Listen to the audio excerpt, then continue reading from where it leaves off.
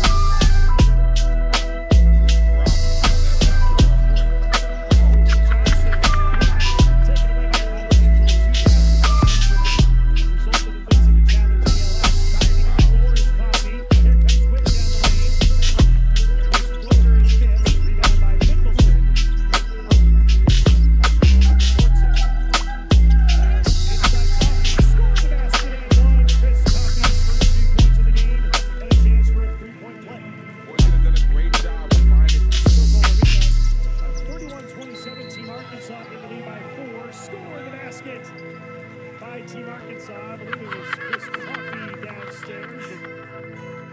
They'll go to the line for a three-point.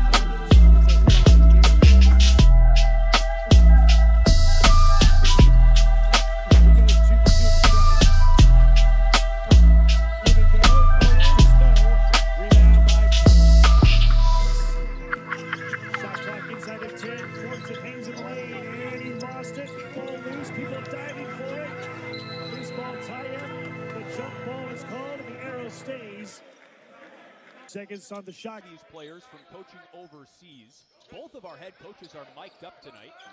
And there's a slam dunk from Chris Coffey. A little quick ball screen. Watch the short roll by Hunter Mickelson. Catch, reads. Here comes the Gutter Cat gang.